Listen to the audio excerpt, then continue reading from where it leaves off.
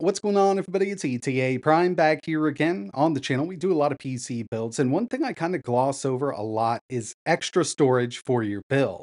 And this is something I usually run into an issue with for myself. I mean, I don't choose enough storage most of the time.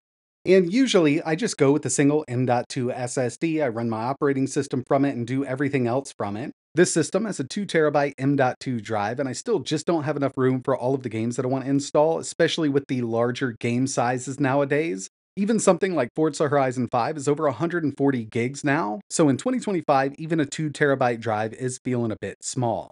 But recently, Seagate reached out to me about their internal mechanical drives, and I figured I could make a video on this because, again, it's something that I kind of gloss over, and having more storage now is definitely a must because I usually find myself deleting a game and then having to re-download it a few days later. And with games being so large, uh, depending on your internet connection, it can take a while to re-download that game. So in this video, I figured I'd give you a quick rundown on how to choose an internal mechanical hard drive for your PC. I've got four of Seagate's most popular hard drives here, and we're going to be starting out with their Exos. This is more of a hard drive for a data center, but it does offer some really amazing read and write speeds, and in most cases, you can get out cheaper adding more of the Exos drives than you could with the IronWolf Pro, and it really comes down to the data recovery services that are included with each drive. They're not included with the Exos, and another thing to keep in mind with the Exos is these are made for a data center, so with this, power consumption is higher than the other drives we have on the table. The 16 terabyte version up to around 10 watts, as opposed to the 16 terabyte of the IronWolf Pro coming in at around 6.8 watts.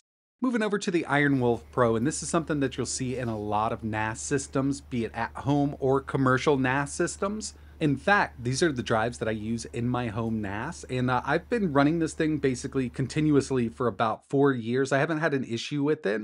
I've got it set up with four drives. Uh, two are running in RAID, so we've got some redundancy there just to make sure I got those extra backups in case anything goes wrong. But these are workhorses, and it's a go to for a lot of people. With up to a 550 terabyte yearly workload and a five year limited warranty, it's hard to go wrong with these IronWolf Pro drives. Next on the list, we've got the Seagate Skyhawk AI video hard drive, made for surveillance systems. You can get these up to 24 terabytes each, and they support 64 HD cameras and 32 additional AI streams. And just like the IronWolf Pro, 550 terabyte yearly workload, and 2.5 million hours mean time between failures. Again, these were specifically made for AI surveillance systems made to run 24 hours a day. And the final one we have here is the good old Barracuda. This is a 24 terabyte drive. This is what I would use in my gaming PC for supplemental storage. This is going to store all of my Steam games, my Epic games, uh, Microsoft games, and I've got a big library, so I do need a ton of storage here. These have been great hard drives for gaming PCs, and they offer these anywhere from 1 terabyte up to 24 terabytes.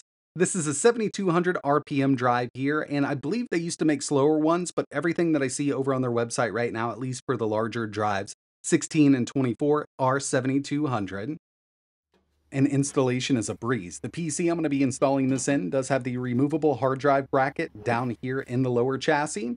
We can fit two 3.5 inch drives here, one on top, one in the chassis itself. And the removable rack that I have here does have anti-vibration feet on it. So uh, when this thing is spinning up, it's not going to shake your PC. You're probably not even going to hear this once everything's closed up.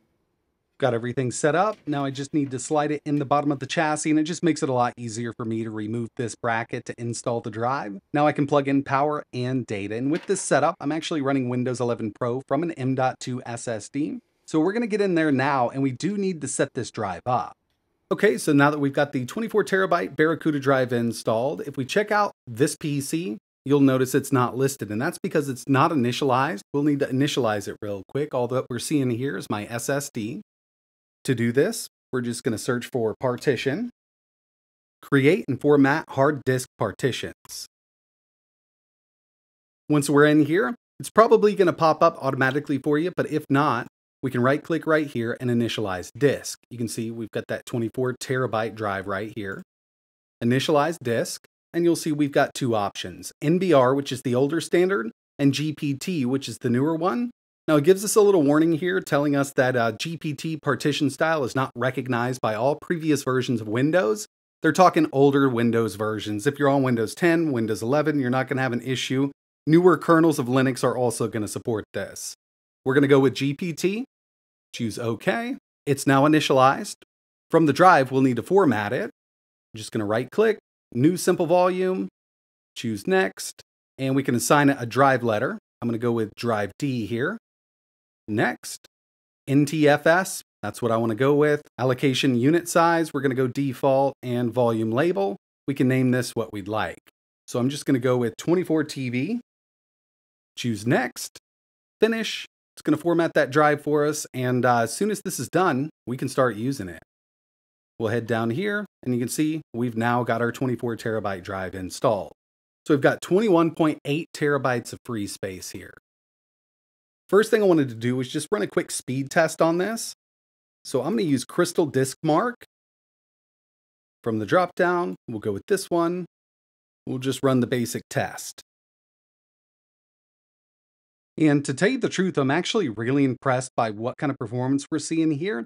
Nowhere close to an M.2 SSD, but we're not looking for those kind of speeds. We're not going to be running the operating system from this. This is more of supplemental storage, just so we have a ton of storage for our Steam games.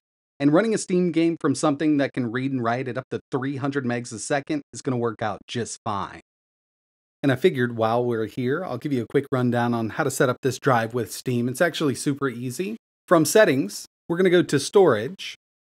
Right here, we've got a drop down. So this has been going to my SSD, but we want to add a drive. Steam is automatically going to find another drive on your system. So you can use this. It works out really well. It's just going to put it right there on the root.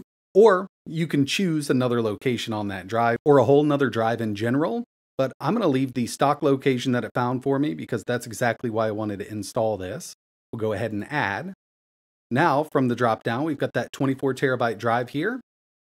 I'm going to set this as my default because I want all of my new games to download over here. And I'll give you an idea. We'll just go ahead, install. You can see that this is automatically chosen, but we've got the other drive if we want to go back over there. So we can just install from here. And of course, if you want to transfer games to that new drive from within Steam, it's pretty easy to do. We'll head back to storage. And uh, from the drop down, you'll see we're on my SSD. This is what I've got installed right now. I'm going to choose, let's just do uh, Shadow of the Tomb Raider. We'll check this one off. Move. Already knows that I want to move it over to that 24 terabyte drive that we set up with Steam. Choose Move. And it'll go ahead and move it for us. And you can do this with your whole setup if you want to. As long as the game doesn't need to be updated at the time of moving it to a new drive, it'll go ahead and do it through Steam for us. So yeah, that's going to wrap it up for this one. I really hope this helped you out choosing a drive for your setup. Again, if you're looking for a home NAS, I would go with that IronWolf Pro. You could also use those Exos if you don't need that recovery, but they do draw more energy. But when it comes down to a gaming rig needing some supplemental storage, I can highly recommend Seagate's Barracuda Drive. But that's going to wrap it up for this one. If you're interested in learning a little more, picking up a new hard drive, I will leave links in the description. And like always, thanks for watching.